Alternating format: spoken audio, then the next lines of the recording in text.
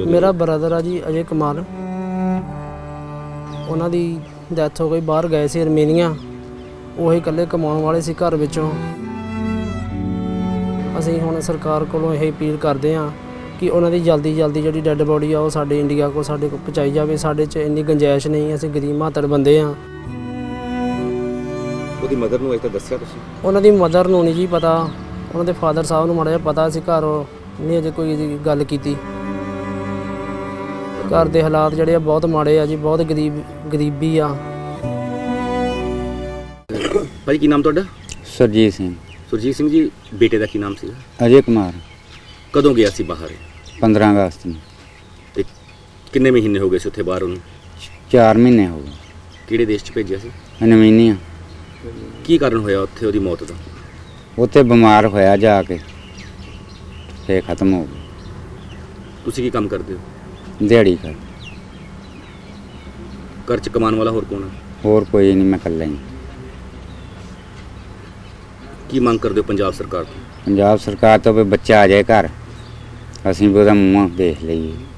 ਤੁਹਾਡਾ? ਮੇਰਾ ਨਾਮ ਹੈਗਾ ਜੀ ਸੰਦੀਪ ਸਿੰਘ। ਸੰਦੀਪ ਸਿੰਘ ਜੀ ਅਹ, ਕੀ ਲੱਗਦੇ ਹੋ ਤੁਸੀਂ ਉਹਦੇ? ਮੇਰਾ ਬ੍ਰਦਰ ਆ ਜੀ ਅਜੇ ਕੁਮਾਰ ਉਹਨਾਂ ਦੀ ਡੈਥ ਹੋ ਗਈ ਬਾਹਰ ਗਏ ਸੀ ਅਰਮੇਨੀਆ। ਉਹ ਹੀ ਇਕੱਲੇ ਕਮਾਉਣ ਵਾਲੇ ਸੀ ਘਰ ਵਿੱਚੋਂ। ਤੇ ਉਹਨਾਂ ਦੀ ਉੱਥੇ ਬਿਮਾਰ ਹੋਏ ਉਹਨਾਂ ਦੀ ਡੈਥ ਹੋ ਗਈ। ਅਸੀਂ ਹੁਣ ਸਰਕਾਰ ਕੋਲੋਂ ਇਹ ਅਪੀਲ ਕਰਦੇ ਹਾਂ ਕਿ ਉਹਨਾਂ ਦੀ ਜਲਦੀ ਜਲਦੀ ਜਿਹੜੀ ਡੈੱਡ ਬੋਡੀ ਆ ਉਹ ਸਾਡੇ ਇੰਡੀਆ ਕੋਲ ਸਾਡੇ ਕੋਲ ਪਹੁੰਚਾਈ ਜਾਵੇ। ਸਾਡੇ 'ਚ ਇੰਨੀ ਗੁੰਜਾਇਸ਼ ਨਹੀਂ ਅਸੀਂ ਗਰੀਬ ਮਾਤੜ ਬੰਦੇ ਆ ਕਿ ਜਿਹੜਾ ਅਸੀਂ ਉਹਨੂੰ ਪੈਸਾ ਲਾ ਕੇ ਮੰਗਾਈਏ। ਅਸੀਂ ਸਰਕਾਰ ਤੋਂ ਇਹ ਮੰਗ ਕਰਦੇ ਹਾਂ ਕਿ ਉਹਦੀ ਜਿਹੜੀ ਡੈੱਡ ਬੋਡੀ ਆ ਜਲਦੀ ਜਲਦੀ ਇੰਡੀਆ ਆਏ। ਤੇ ਉਹਦੀ ਮਦਰ ਨੂੰ ਅਜੇ ਤੱਕ ਦੱਸਿਆ ਤੁਸੀਂ? ਉਹਨਾਂ ਦੀ ਮਦਰ ਨੂੰ ਨਹੀਂ ਜੀ ਪਤਾ। ਉਹਨਾਂ ਦੇ ਫਾਦਰ ਸਾਹਿਬ ਨੂੰ ਮਾੜਾ ਜਿਹਾ ਪਤਾ ਸੀ ਘਰ ਨਹੀਂ ਅਜੇ ਕੋਈ ਗੱਲ ਕੀਤੀ। ਘਰ ਦੇ ਹਾਲਾਤ ਕਿਸ ਤਰ੍ਹਾਂ ਘਰ ਦੇ ਹਾਲਾਤ ਜਿਹੜੇ ਆ ਬਹੁਤ ਮਾੜੇ ਆ ਜੀ ਬਹੁਤ ਗਰੀਬ ਗਰੀਬੀ ਆ। ਆਪਣੇ ਜਿਹੜਾ ਘਰ ਦਾ ਗੁਜ਼ਾਰਾ ਬੜੀ ਮੁਸ਼ਕਲ ਉਹ ਚਲਾਉਂਦੇ ਆ।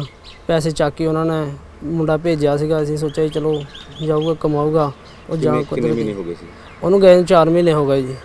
ਕੁਲਦੀਪ ਸਿੰਘ ਜੀ ਤੁਹਾਡੇ ਜਿਹੜੇ ਪਿੰਡ ਦੇ ਇੱਕ ਨੌਜਵਾਨ ਅਜੇ ਕੁਮਾਰ ਦੀ ਜੀ ਸਰ। ਅਹ, ਮੌਤ ਹੋਈ ਹੈ ਅਰਮੀਨੀਆ 'ਚ। ਜੀ ਸਰ। ਅਹ, ਕੀ ਮਾਮਲਾ ਹੈ?